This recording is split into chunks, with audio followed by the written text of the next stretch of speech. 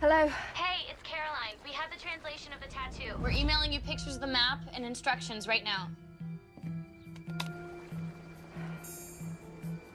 Got it, thanks. Actually, it was me. Nik, you helped? You sound so surprised, little sister. Shouldn't I be? You don't want me to be human. You don't want any of us to be human. Why would you help us find the cure? Maybe I finally realized the longer I stand in the way of what you want, the longer you'll continue to hate me. Perhaps I want my sister to finally know happiness. Fool me once, shame on you. Fool me a hundred times. No more fooling. No more games. I hope you get to live and die as you wish. So do I. There is one more thing, Rebekah. There is only one dose of the cure. You need to find it first and take it. It's the only way you'll. Nik! Nik!